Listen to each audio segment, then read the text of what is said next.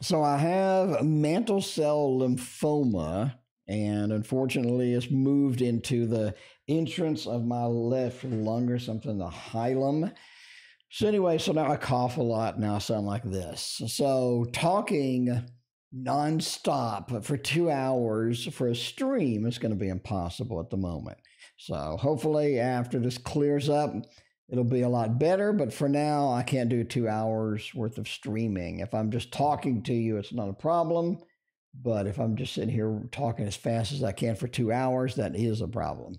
So if you want a uh, private reading, hit me up. Uh, link in the description.